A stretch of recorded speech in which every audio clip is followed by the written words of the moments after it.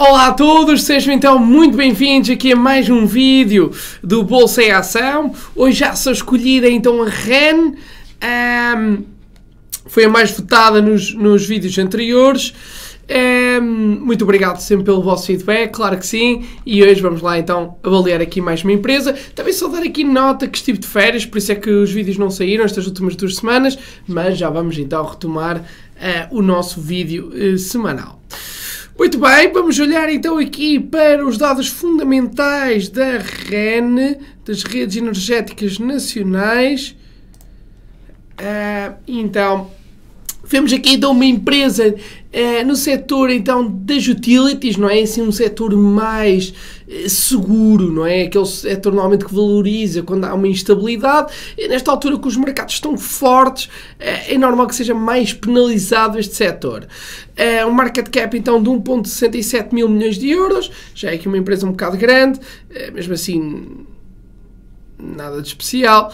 Uh, e se olharmos então aqui para a performance da empresa, uh, vemos que claramente ela está abaixo do, do, do índice de referência, do PSI, uh, aqui com umas quedas então anuais de 7,88% e semestrais de 2,89%, ao contrário do PSI que esteve sempre então a valorizar.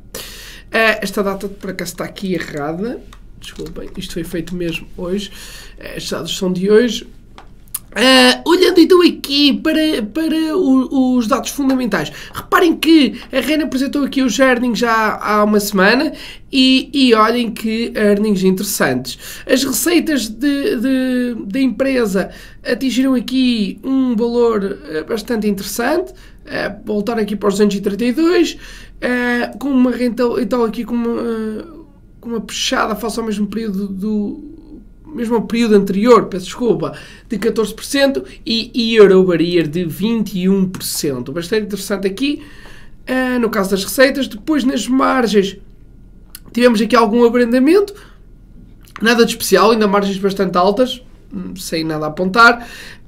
Um, o, aqui o EBITDA, excluindo unusual items, muito interessante, atingiu aqui novo máximo sempre, 66,38, muito bom, crescimento de 18% face ao trimestre anterior e 26,85% face ao mesmo período do ano passado, muito interessante aqui estes valores, e, e claro que vão se refletir aqui no net income, e como vem também aqui o net income a apresentar o melhor resultado de sempre, com uma puxada de 292% face ao, ao período anterior, mas depois também já tínhamos aqui registado quedas, mas o mais interessante é aqui os 25% e Aerobaria, é, que mostram aqui bastante força.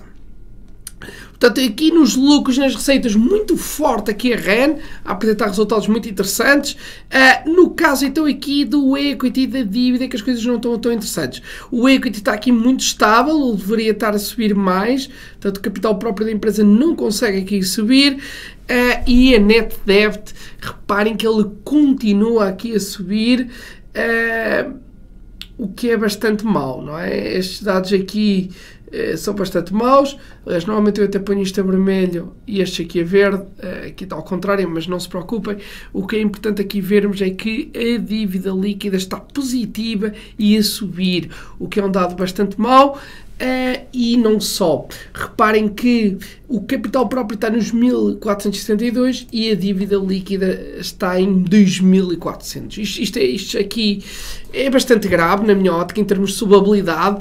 É uma falha aqui. A empresa está nos níveis de crescimento bons para o nível de empresa que é, muito bons até. É, aqui a única coisa que me preocupa na empresa é mesmo a dívida, não é? A dívida é muito alta, com as taxas de juros a subir, ela poderá ser penalizada. Se olharmos aqui mesmo os dados, uh, se formos ver aqui, lá está no balance sheet, reparem, lá está, não é? Ou seja, a total debt da empresa está nos 2.440 e a net debt está nos 2.405. O que é que isto simboliza? Simboliza que a empresa não tem cash disponível neste momento e está com uma dívida muito alta. Aliás, se formos ver aqui os cash and equivalents, veem que eles estão a cair a pique, não é? é atingindo aqui o nível mais baixo de sempre. Portanto, a empresa está com, dificuldade, com algumas dificuldades aqui financeiras, eh, mas não acho que haja aqui também um problema muito grave Eu só estou a salientar que esta é a parte negativa da empresa, até porque se ela está a crescer, os bancos vão continuar a emprestar e, e provavelmente não terá problemas. Eh, mas ao mesmo tempo, olhem a questão das taxas de juro e isso poderá então impactar aqui na empresa. Continuando a nossa análise, eh, se olharem aqui os analistas também uh, dão aqui target então para a empresa de mais 10% ao que ela está neste momento, será o target, uh, ou seja, a média dos targets, aqui mais 10%. Uh, já vamos ver também o que é que eu acho, mas eles estão então aqui uma average de 10% e no máximo então 36% ou então 16% de queda. Portanto, que ela deverá andar aqui neste range a um ano.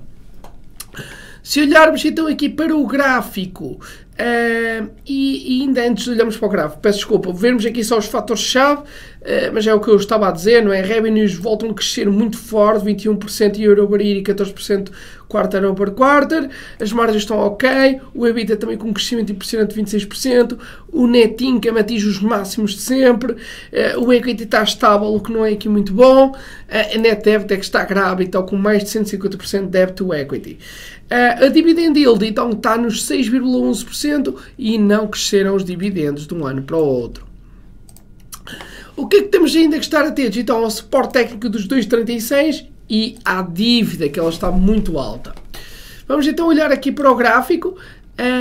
Nesta altura, então, a empresa é uma empresa muito estável, não é? Ou seja, reparem que desde 2014 ela andou sempre nestes ranges de preço. Não, uh, teve aqui alguma flutuação no Covid, aqui uma queda bastante agressiva, mas depois a recuperação então em relação às outras empresas, na altura em que as coisas estavam a tremer aqui mais, uh, e agora lá está, os mercados estão a subir, é normal que o setor da, da, das utilities seja aqui penalizado. No entanto, a empresa está aqui com bons níveis de crescimento e poderá então aqui aguentar-se nesta zona de suporte, na zona então dos 2,42 ou mesmo a zona dos 2,36, ou seja, deveremos vigiar aqui mais em detalhe esta zona aqui de suporte. Uh, e agora está aqui a formar também uma linha descendente, não é? Uh, que ainda só teve aqui um toque, ainda não é assim uma linha com, com grande impacto. Vamos ver. Uh, mas eh, se ela então, se o preço conseguir quebrar aqui esta zona, uh, temos aqui esta zona de resistência dos 2,71 e quebrando essa poderá então chegar facilmente aqui à zona dos 2,95. Portanto, eu acredito que no espaço de um ano a empresa vai andar aqui neste range entre os 2,36 e os 2,95, é a minha análise. Um, portanto, poderemos ter aqui algumas possibilidades de entrada eh, vejam o que é que acham, mas é uma empresa para quem quer então aqui eh, colocar aqui uma empresa estável não é? no portfólio, uma dividend yield alta, 6,11 eh, e com níveis de crescimento bons, embora a dívida esteja aqui a penalizar a empresa. Muito bem, espero que tenham gostado então da análise. Continuem com os vossos comentários e, e, continuaremos então a analisar as empresas. Não se esqueçam que vai haver imensos earnings das empresas portuguesas, estão a acontecer. Uh, também me tinham pedido aqui a Corticeira Amorim. Uh, eu não fiz essa análise porque lá está, ela vai apresentar os resultados muito em breve e vamos esperar então que saiam os resultados para que a análise não fique desatualizada. Muito bem, bons negócios a todos. Deixem o vosso like, partilhem e deixem o vosso feedback. Obrigado por tudo e até já.